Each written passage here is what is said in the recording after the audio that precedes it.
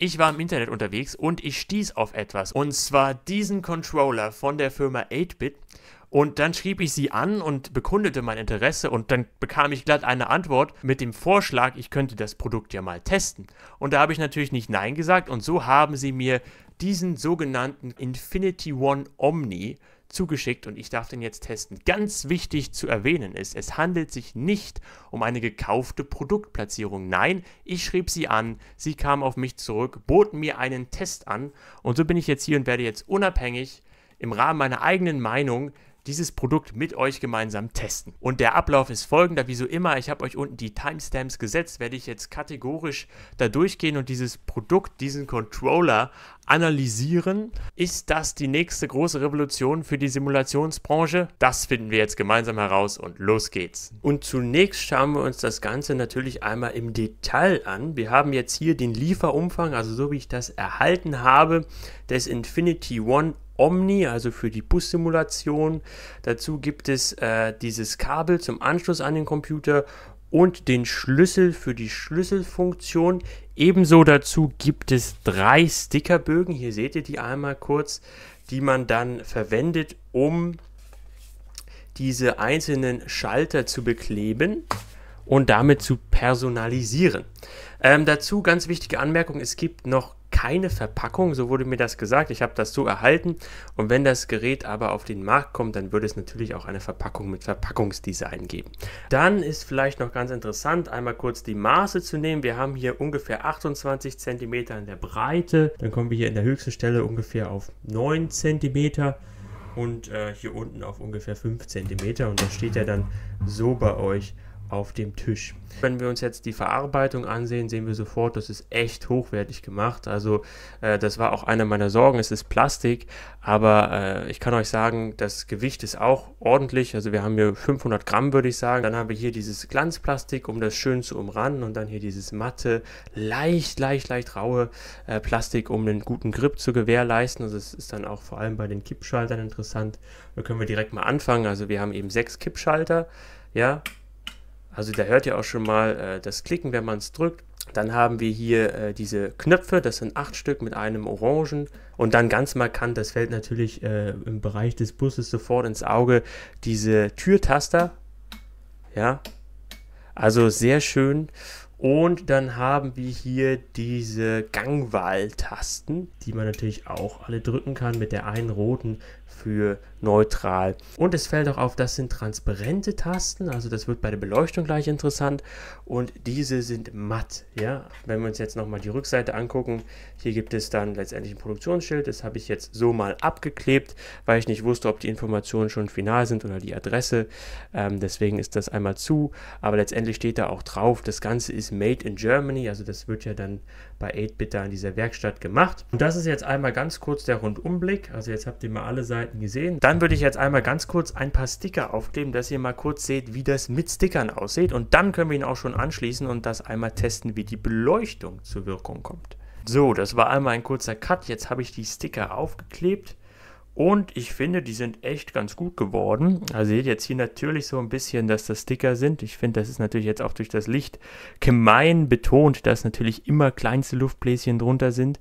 Aber ich finde, gerade wenn man das aus der Sicht betrachtet, wie man es letztendlich ja auch benutzen würde, finde ich vor allem die Sticker hier bei den Türtastern und Gangwahltastern ähm, echt gelungen. Also die sehen wirklich hochwertig aus.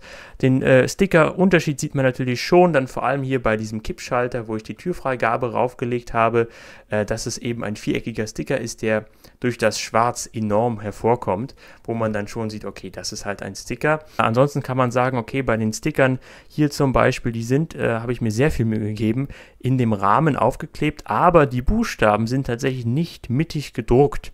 Das heißt, es wirkt ein bisschen schief, obwohl ich es richtig aufgeklebt habe weil äh, die Buchstaben nicht mittig sind. Aber das kann natürlich, ich weiß es nicht, auch an, äh, daran liegen, dass es noch Prototyp-Stickerbögen sind und die äh, im Endeffekt nochmal überarbeitet werden würden. Aber jetzt geht es vor allem auch darum, das mal ähm, ein bisschen mehr in Betrieb zu erleben, das heißt die Beleuchtung einmal anzuschauen. Ähm, und dafür gibt es ja hier diesen USB-C-Stecker, den ich jetzt einmal hier reinstecke. Und dann verbinde ich das hier, also hier habe ich den USB mit meinem Computer so, Und schon habt ihr gesehen, leuchtet es los.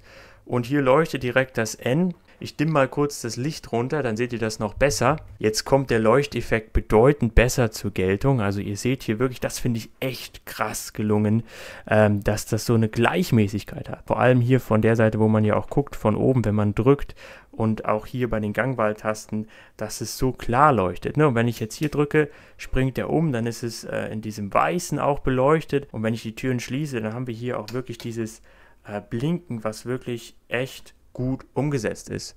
Ähm, und dann natürlich auch, jetzt können wir endlich mal, das habe ich noch gar nicht gezeigt, den Schlüssel auch rumdrehen. Hier ähm, diese echt schöne, edle Beleuchtung um das Schlüsselloch.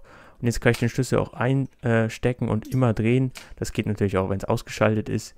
Ähm, und das ist diese Schlüsseldrehfunktion. Ja, jetzt habt ihr einmal hier den detailreichen Überblick über den Controller und die Verarbeitung gehabt. Das ist also das, was man kriegt, was man anschließt und wie es dann wirklich aussieht. Und das ist, ähm, um da mal ein Zwischenfazit zu ziehen, wirklich von hoher Qualität. Und damit befinden wir uns jetzt hier im OMSI 2 für den Praxistest mit dem Infinity One Omni an meiner Seite. Ihr habt jetzt auch hier extra eine Einblendung, damit ihr ganz genau sehen könnt, was ich tue. Und hier testweise habe ich jetzt den C2 von MX200 auf der Map Berlin-Spandau M&Z. So muss das gemacht werden. Und springen wir direkt nun hier zum Fahrerarbeitsplatz des C2s. Und ihr seht sofort, wenn ich jetzt auch mal hier so ranzoome und ihr den Vergleich habt, das hat eine Ähnlichkeit. Also man sieht, dass dieser Infinity One Omni wirklich auch für einen Bus gebaut wurde, vor allem an den Türtastern. Und ich würde sagen, wir rüsten jetzt wirklich diesen Bus einfach mal auf mit Hilfe des Infinity One Omni. Und normalerweise würde man ja jetzt E drücken und jetzt kommt direkt das Geilste, das habe ich natürlich auf den Schlüssel gelegt. Das heißt, um jetzt diesen Bus zu starten, nehme ich jetzt hier diesen Schlüssel und drehe ihn rum. Zack, Elektrik an. Hört ihr das? Und nochmal. Zack, nächste Stufe. Das ist doch geil. So, und weiter. Zack. Und jetzt kommt der Motor. Achtung, ich gehe mal nach hinten, dass ihr das auch hört. Das ist nämlich so geil, wie ich jetzt rumdrehe und der Motor springt an. Passt auf. Das ist das geilste Gefühl von all, allen. Also, no joke, das habe ich vermisst in meiner gesamten OMSI-Karriere. Also wirklich da Props an 8-Bit. Und zurück zum Fahrerarbeitsplatz. Jetzt einmal kurz das Gaspedal drücken und dann können wir schon mit unseren Gangwahltastern, ihr seht, die ist jetzt noch auf neutral, können wir hier aufs D drücken. Na, ist er noch nicht drin, dann muss ich nochmal drauf drücken. Jetzt ist der Gang drin. Zack. So, jetzt kann ich machen, Abblendlicht habe ich mir reingelegt, hier vorne. Zack, zack, seht ihr? Ich habe jetzt hier nicht, äh, ganz wichtige Info, ich habe jetzt nicht alles beklebt, weil ich das vielleicht noch verändern möchte. Aber das ist ja auch das Schöne, man kann es sich bekleben, man muss es aber nicht. Dann habe ich hier das Fahrgastlicht. Zack, kann ich auch wieder ausmachen, an- und ausmachen. Also wirklich richtig geil, endlich mal Kippschalter. Und natürlich habe ich auch Fahrerarbeitsplatzlicht, wenn ich brauche, kann ich auch verwenden. Und wir fahren jetzt einfach mal los. Und dafür löse ich hier auch mit dem Infinity One die Feststellbremse. Zack, Blinker ist am Lenkrad gesetzt und ich rolle. Und jetzt lassen wir gleich das erste Mal Fahrgäste rein. Das ist der magische Moment.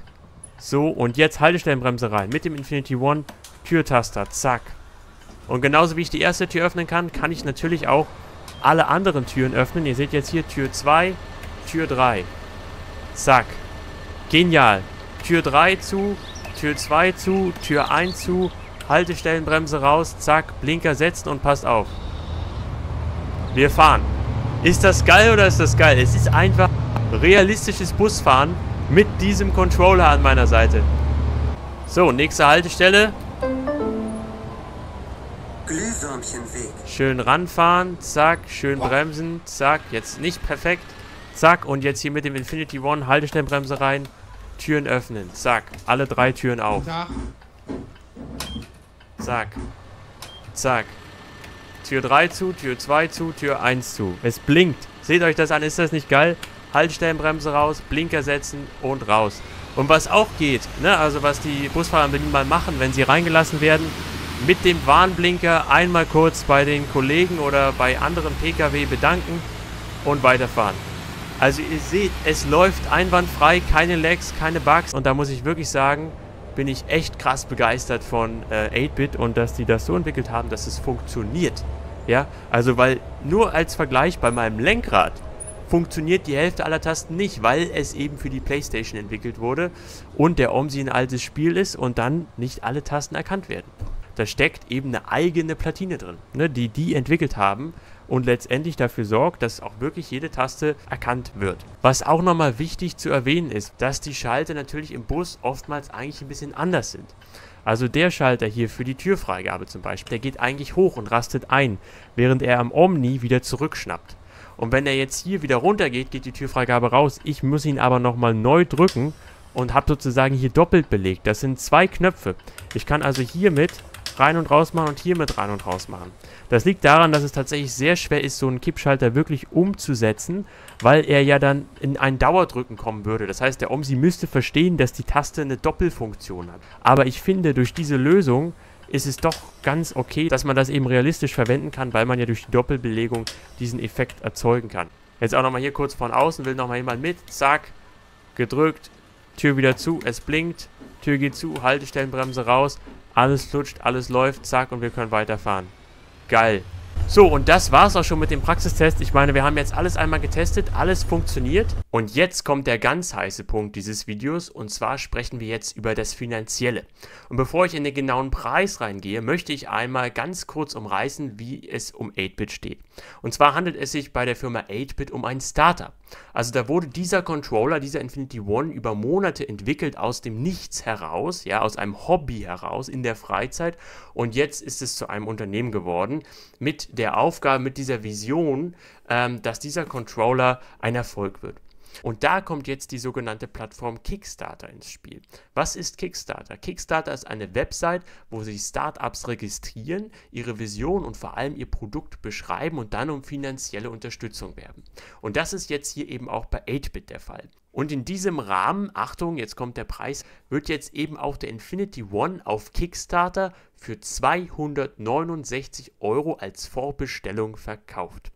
Ihr seht den Controller und wir alle kennen, was es sonst so auf dem Markt gibt und was so die Preise sind. Und da ist dieser Controller definitiv schon im oberen Segment mit dabei, wenn man das natürlich mit Logitech und so weiter vergleicht.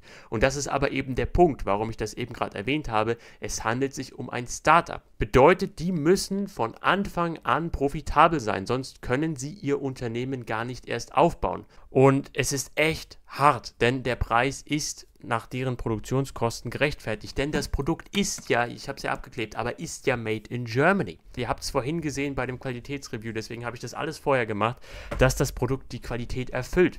Das heißt, der Preis ist für das, was man kriegt, tatsächlich gerechtfertigt. Allerdings, wenn man jetzt in die Marktanalyse geht, sehr, sehr schwierig umsetzbar. Denn wenn ich dieses Produkt, ja, diesen Controller jetzt gesehen hätte, hätte ich gesagt, boah, geil. Und da hätte ich gesehen 269 Euro und dann hätte ich mich aber ganz schnell wieder davon entfernen müssen. Weil ich einfach die finanziellen Mittel nicht habe. Und so geht es halt leider heutzutage einigen von uns, dass wir auf den Preis gucken und dass 269 Euro für ein Gaming-Zubehörartikel eben ein ordentlicher Preis sind. So, ich rolle ein Stück zurück und nehme damit einen großen symbolischen Gesamtüberblick ein und komme zum Fazit. Und da als erstes zu den Pro-Punkten. Und da muss ich sofort sagen, ich habe diesen Controller im Internet entdeckt, gesehen und ich wollte ihn haben. Er erfüllt einen Wunsch und damit meiner Meinung nach eine Marktlücke. Dann habe ich ihn hier erhalten und mit euch gemeinsam getestet.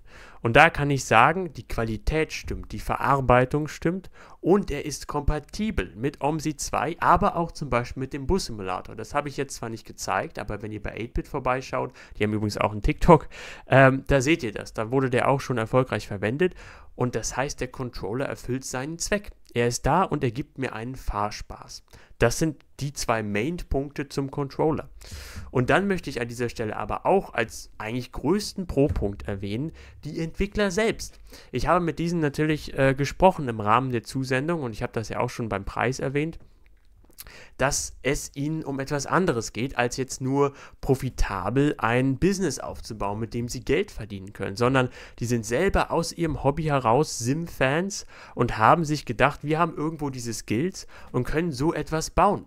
Und haben das entwickelt und eben dadurch diese Firma zu Leben gebracht Und das ist einfach was extrem Schönes, weil es ihnen eben darum geht, community-nah und vor allem sinnvoll Dinge zu entwickeln, die uns etwas geben, einen Wert, die uns die Simulation noch schöner machen. Und das ist im Grunde der Fokus, den sie haben. Nicht Geld, Geld, Geld, Geld und profitabel, profitabel, sondern es geht darum, uns etwas zu geben und für und mit der Sim-Community zu arbeiten. Und damit komme ich aber natürlich jetzt trotzdem auch zu einigen Negativ-, also Kontrapunkten.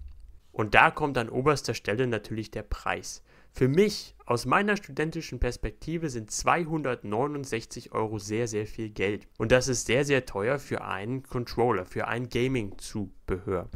Jetzt ist es natürlich so, es kann sein, dass vielleicht ihr ganz anderer Meinung seid und sagt, das ist eigentlich okay. Das würde mich übrigens auch mal brennend interessieren. Sicherlich auch die Leute von 8-Bit. Also schreibt mir bitte mal wirklich in die Kommentare, was haltet ihr vom Preis? Vielleicht auch mal vom generellen Preis-Leistungs-Verhältnis. Vielleicht seht ihr das ja ganz anders. Aber da habe ich mir auf jeden Fall den Kopf drüber zerbrochen.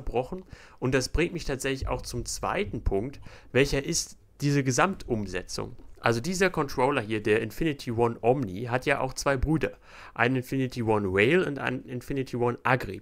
Und die sind dafür gebaut, eben für die spezifische, erkennt man ja am Namen schon, Simulation da zu sein.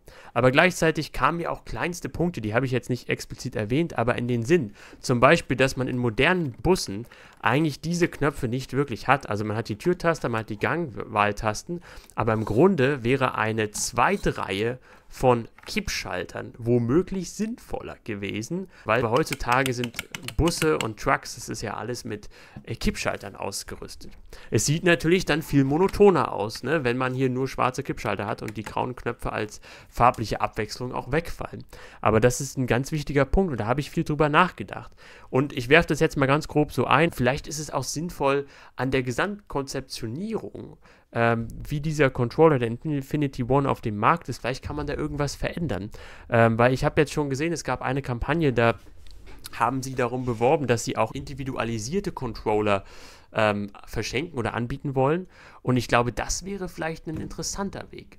Anstatt der einzelnen äh, Modelle, das ist jetzt dieser Controller, der spezifische Infinity One Omni ist, kann man zu 8-Bit gehen und sich einen individualisierten Gaming-Controller für seine Simulation, für das, was man am meisten und am liebsten fährt, äh, erstellen. Und dann kann ich sagen, ich möchte alles voller Kippschalter haben. Ja? Oder ich fahre hier zur Hälfte, da reicht mit Kippschalter, hier möchte ich ein paar Train-Knöpfe drin haben. Und dann wäre der Preis für 269 Euro vielleicht sogar gerechtfertigter, weil irgendwie aus irgendeinem Grunde in meinem Kopf das dann so ist, okay, ich bekomme ein absolut individualisiertes Produkt. Etwas, das ich selber mit den Entwicklern auf der Webseite oder was auch immer designe und dann extra für mich gebaut wird. Und dann werden diese 269 Euro auf einmal schon schmackhafter, ja, also das ist natürlich, äh, wäre vielleicht interessanter. Deswegen habe ich das jetzt mal als Negativpunkt aufgefasst, aber im Grunde ist es auch so ein bisschen, äh, was könnte man, ich ja konstruktiv sein in meinen Negativpunkten, ähm, was könnte man vielleicht da machen? Und da will ich jetzt auch mal die Chance nutzen und anmerken, ihr kennt ja den JM-Simulation von meinem Kanal, äh, für die neuen Zuschauer, der ist verlinkt auf meiner Startseite, der hat tatsächlich den Infinity One Whale im Review gemacht. Das könnt ihr euch natürlich mal angucken, dann kriegt ihr da auch nochmal einen Eindruck. Und damit komme ich jetzt auch schon zum Ende des Videos und kann sagen, dass ich vom Infinity One beeindruckt bin, dass ich das wirklich schön finde und unterm Strich hier mit einem sehr positiven Gefühl rausgehe und dem 8-Bit-Team wirklich einfach nur das Beste wünsche und dass das irgendwie funktioniert und wir hier eine Firma bekommen, in den Markt bekommen, die solche Produkte für uns macht und ähm, freue mich darauf, wenn ich äh, wirklich eines Tages mir den auch mal äh, dann wirklich äh, selber leisten kann und ähm, so einen Controller hier neben meinem Lenkrad haben könnte. Wenn euch das Video gefallen hat, lasst doch unbedingt ein Like da, ein Abo, äh, schaut bei 8-Bit vorbei, also ich habe das jetzt alles, zack, verlinkt von Kickstarter bis Webseite. Keine Werbung, wie gesagt, es ist ein Review. Ihr könnt euch jetzt selber informieren. Ich überlasse euch jetzt euch selbst. Bedanke mich fürs Zuschauen und sehe euch hoffentlich bei anderen Videos wieder und wünsche euch einen wunderschönen Tag. Vielen Dank fürs Zuschauen. Auf Wiedersehen.